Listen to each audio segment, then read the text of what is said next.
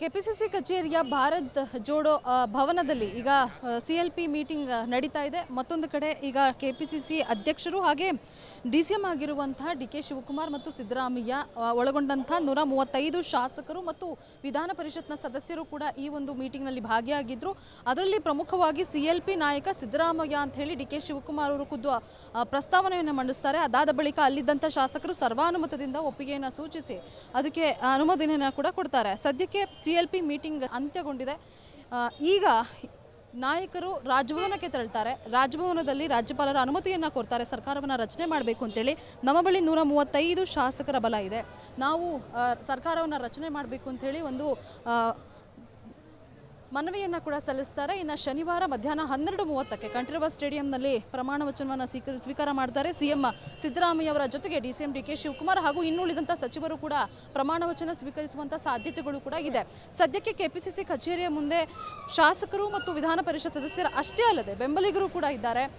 ಇಲ್ಲಿಂದ ನೇರವಾಗಿ ನಾಯಕರು ರಾಜ್ಯಭವನಕ್ಕೆ ತೆರಳಿ ರಾಜಭವನದ ಹತ್ರ ಹೋಗಿ ಅಲ್ಲಿ ಒಂದು ಮನವಿ ಪತ್ರವನ್ನು ಕೂಡ ಸಲ್ಲಿಸ್ತಾರೆ. ಈಗಾಗಲೇ ಇಮೇಲ್ ಮೂಲಕ ಮನವಿ ಪತ್ರ ಸಲ್ಲಿಸಲಾಗಿದೆ. ಆದರೆ ಈಗ ಸದ್ಯಕ್ಕೆ ಹ್ಯಾಂಡ್ ಮೂಲಕ ಒಂದು ಮನವಿ ಪತ್ರವನ್ನು ಸಲ್ಲಿಸಿ ಸರ್ಕಾರ ರಚನೆಗೆ ಒಂದು ಮನವಿಯನ್ನು ಕೂಡ ಪಡೆದುಕೊಳ್ತಾರೆ.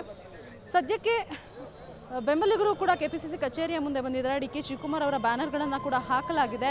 ಈಗ ಸದ್ಯ ಡಿ ಕೆ ಶಿವಕುಮಾರ್ ಅವರು ಕೂಡ ಸಿ ಎಲ್ ಪಿ ನಾಯಕನ ಘೋಷಣೆಯನ್ನು ಮಾಡಿದ್ದಾರೆ. ಕೇವಲ ಇಪ್ಪತ್ತೈದು ನಿಮಿಷದಲ್ಲಿ ಈ ಒಂದು ಶಾಸಕಾಂಗ ಪಕ್ಷದ ಸಭೆ ಕೂಡ ಅಂತ್ಯಗೊಂಡಿದೆ.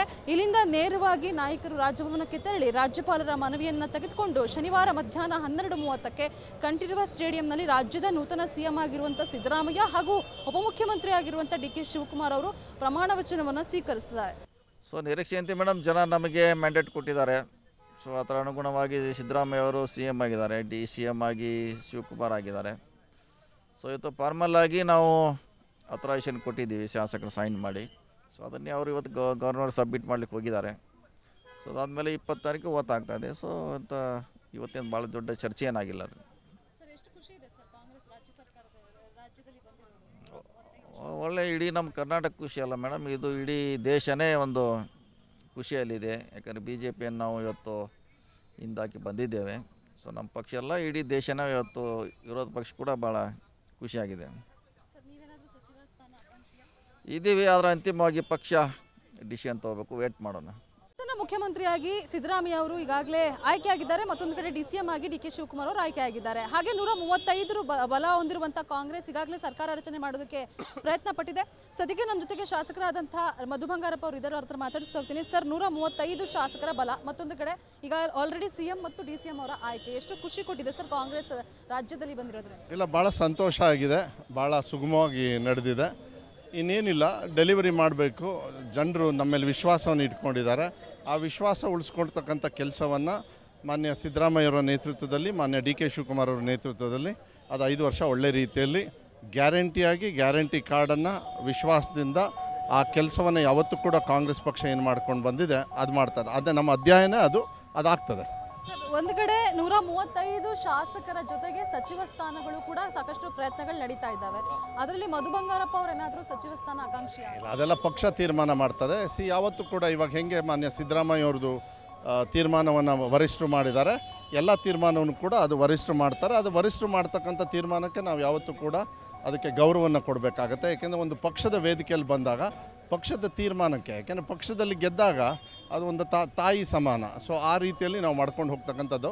ಅದು ರಾಜ್ಯಕ್ಕೂ ಕೂಡ ಒಳ್ಳೆಯದಾಗ್ತದೆ ಯಾಕೆಂದರೆ ಪಕ್ಷದ ಮೇಲೆ ವಿಶ್ವಾಸ ಇಟ್ಟಿದ್ದಾರೆ ಜನರು. ಅದು ಅಭ್ಯರ್ಥಿಗಳ ಮೂಲಕ ಇರ್ಬೋದು.